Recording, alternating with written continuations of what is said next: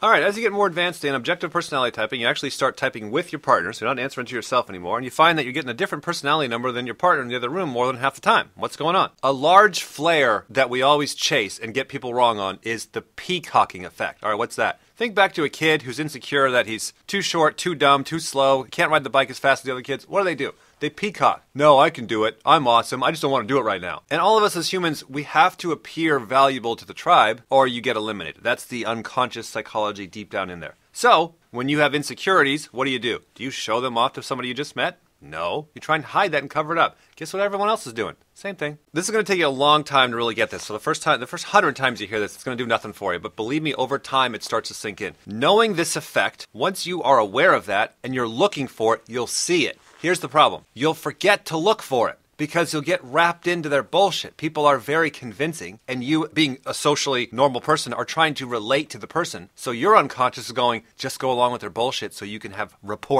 and vibe with the person. And now you're getting tricked by their bullshit because you're not consciously, objectively holding down that lever in your head, going, wait, stop, don't fall for the bullshit. Don't let my biases go along with their biases. Don't fall for peacocking. It's really hard to resist that. It takes a lot of practice to resist that. All right, so the game goes like this. You get to know somebody, and you get to know them based upon their actions, not their words, their actions. What is their life about? Oh, this girl here, she's a cheerleader. All right, so she's spending the majority of her time playing the cheerleader game, the popularity game, new, new, new. This is where her actions are. This is where the majority of her hours are each week. Now, when you go talk to the cheerleader, what does she tell you? She starts to tell you about what she really cares about. Oh, what I really care about. And now she'll flip to her demons. Let's just say she's an ESFP, right? I know. Oh, I really care about the world. I really care about helping people. I really care about the future, right? This is what she's going to tell you. And you're looking at her like, uh, okay, right. Why don't you do any of that? Oh, because she's doing her savior. She's just SF at the top. So, but, so why does she care about NT and then she doesn't do it? Because it's her demons. Well, the demons, they make you frustrated, they make you mad when you have to use them. At late at night, when you sit there thinking, what else is there to life? What are you thinking about? Your demons. And then it's the same way the other way around with the nerd. What does he want to do? He wants to be popular. He wants to be well liked. He wants to go to all the parties. Well, why does he put in the work? Oh, because he's busy doing nerd stuff because it's tied to his saviors. So here's the point. When you roll up on a nerd, a jock, a popular person, and you say, hey, you're really good at this. They're like, yeah, yeah, yeah, I know, I know. But then you say, hey, you suck at this. Then you point at their demons like, oh, no, I don't. I really care about that. And you're caught in a really awkward situation. So this is what I was talking about earlier, where unconsciously we know not to offend people by pointing out what they suck. You just go along when they're like, I'm really good at this. You're like, yeah, okay. Here's where this breaks down at scale. When we've been objectively typing people over the past several years, what we've consistently seen is that most people are totally peacocking on their demons. Now, you slap a personality test in front of them,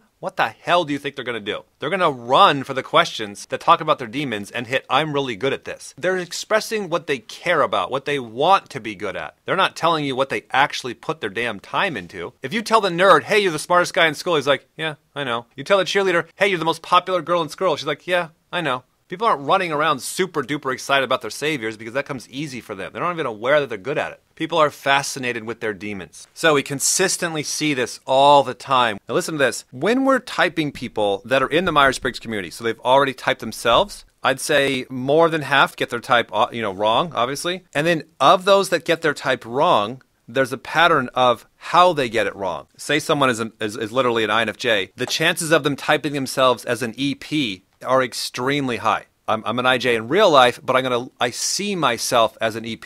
The IP sees themselves as an EJ. The EP sees himself as an IJ. That is a big consistent pattern that we're seeing. When people type themselves wrong, we can almost predict what type they're gonna type themselves as. So what can you do about this peacocking effect, where people are seeing themselves on who they want to be, not who they actually are? What can you do?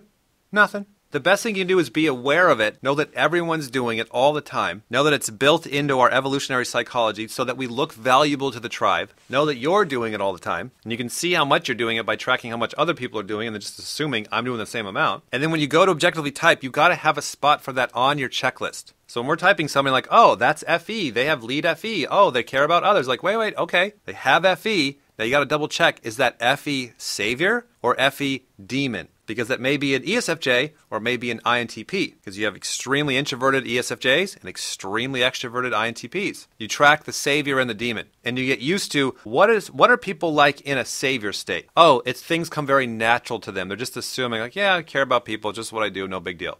Or it's, I care about people. It's the most amazing thing. Look how much I cared. It was so awesome. I'm a little kid. I tied my shoes. Can you believe it? Like, wow, yeah, you did your demons. I totally care about my demons. They got their eyes all wide. They're looking at you like, yeah, you believe this, right? You're like, uh, yeah, sure. So that whole state of people getting all weird and kind of amping up and peacocking, that's usually coming from the demon state. It's all stuff we all know everyone's doing. It's just becoming more conscious of this and being aware of this and then tracking this on your checklist.